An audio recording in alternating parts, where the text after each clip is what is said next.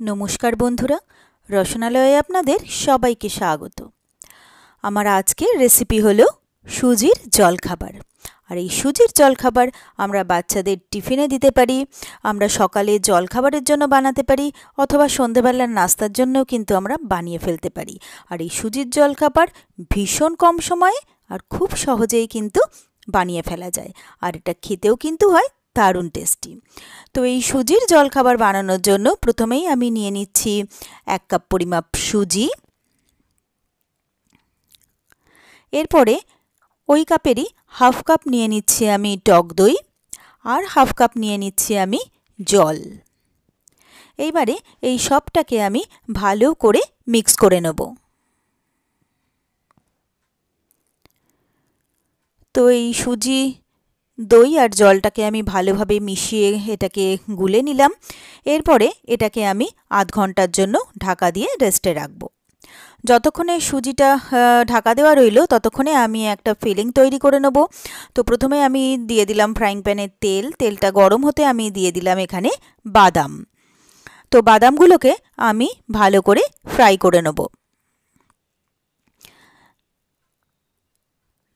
তো বাদামগুলোকে বেশ ভালোভাবে আমি ভেজে নিয়েছি। এবারে এগুলোকে তুলে আমি একটা অন্য প্লেটে রেখে দেবো। এরপরে আমি যে তেল রইল তাতে দিয়ে দিচ্ছি হাফ চা চামচ গোটা সর্ষে, হাফ চা চামচ গোটা জিরে আর একটা শুকনো লঙ্কা। এবারে এই সবটাকে প্রায় আট থেকে দশ সেকেন্ডের জন্য আমি ফ্রাই করে নেব। তো ফ্রাই করতে করতে বেশ একটা সুন্দর গন্ধ বেরোচ্ছে। এরপরে আমি একটা মিডিয়াম সাইজের পেঁয়াজ কুচিয়ে রেখেছিলাম, সেই পেঁয়াজটা আমি এর মধ্যে দিয়ে দিলাম। তো পেঁয়াজটাকেও আমি কিছুক্ষণ ভেজে নেব। তো পেঁয়াজটা প্রায় আমি দেড় থেকে দু মিনিট মতো ভেজে নিলাম। এরপরে আমি এর মধ্যে দিয়ে দিচ্ছি এক চা চামচ আদা আর রসুনের পেস্ট। এবারে এই আদা রসুনের পেস্টটাকেও আমি একটু ফ্রাই করে নেব, যতক্ষণ না এর থেকে কাঁচা গন্ধটা চলে যাচ্ছে। তো এটা আমার ভালোভাবে ফ্রাই করা হয়ে গেছে। এরপরে আমি নিয়ে নিয়েছি এখানে দুটো বড় সাইজের সেদ্ধ আলু। সেই আলুগুলোকে আমি ভালো করে ম্যাশ করে নিয়েছিলাম। এরপরে আমি আলুটাকে এর মধ্যে দিয়ে দিলাম। আর যে বাদামগুলো ভেজে রেখেছিলাম, সেই বাদামগুলো এর মধ্যে দিয়ে দিলাম। দিয়ে দিলাম স্বাদ মতো নুন। দিয়ে দিচ্ছি হাফ চা চামচ চিলি ফ্লেক্স। যদি চিলি ফ্লেক্স না থাকে, সেক্ষেত্রে নর্মাল চিলি পাউডারও দেওয়া যেতে পারে। আর দিয়ে দিলাম এর মধ্যে আমি হাফ চা চামচ হলুদ আর এক চা চামচ জিরের গুঁড়ো। এবারে এই সব কিছুকে আমি ভালো করে প্রথমে মিক্স করে নেব। তারপরে এই সব কিছু দিয়ে আলুটাকে আমি ভালো করে ভেজে নেব।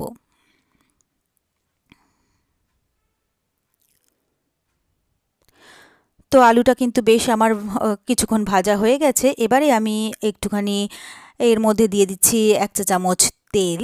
তেলটা গরম হলে আমি এখানে দিয়ে দিচ্ছি বেশ কিছুটা কারি পাতা। কারি পাতাটা ভালো করে আমি তেলের মধ্যে ভেজে নেব, তারপরে আমি আলুর সাথে ভালোভাবে মিশিয়ে এটাকে আরও কিছুক্ষণ ফ্রাই করব। আর এই পর্যায়ে যদি কারি পাতাটা দেওয়া যায়, তাহলে কিন্তু কারি পাতার গন্ধটাও ভীষণ সুন্দর আসে আর খেতেও কিন্তু ভীষণ ভালো হয়। তো এটাকেও আরও কিছুক্ষণ আমি ভেজে নিলাম। এইবারে আমি সব শেষে কম কম হাফ চা চামচ আমি দিয়ে দিলাম গরম মশলা গুঁড়ো। এবারে গরম মশলা গুঁড়োটাকেও ভালো করে আমি মিশিয়ে নিলাম। তারপরে আরও এক মিনিট আমি আলুটাকে ফ্রাই করে নিলাম। তো আলুটা কিন্তু আমার খুব ভালোভাবে ফ্রাই করা হয়ে গেছে। পুরটা কিন্তু আমার ভীষণ ভালোভাবে রেডি হয়ে গেছে। এবারে আমি গ্যাসটাকে অফ করে দিয়ে এই আলুর পুরটাকে আলাদা একটা প্লেটে তুলে নিলাম। এরপরে আমি এদিকে আধ ঘণ্টা হয়ে গেছে। আমি সুজি যেটা আমি ঢাকা দিয়ে রেখেছিলাম, সেটা ঢাকনাটা খুলে আমি স্পুন দিয়ে নেড়ে দেখে নিচ্ছি। সুজিটা কিন্তু বেশ একটু ঘন হয়ে গেছে। এরপরে আমি এখানে দিয়ে দিলাম হাফ চা চামচ নুন আর দিয়ে দিচ্ছি হাফ চা চামচ বেকিং সোডা।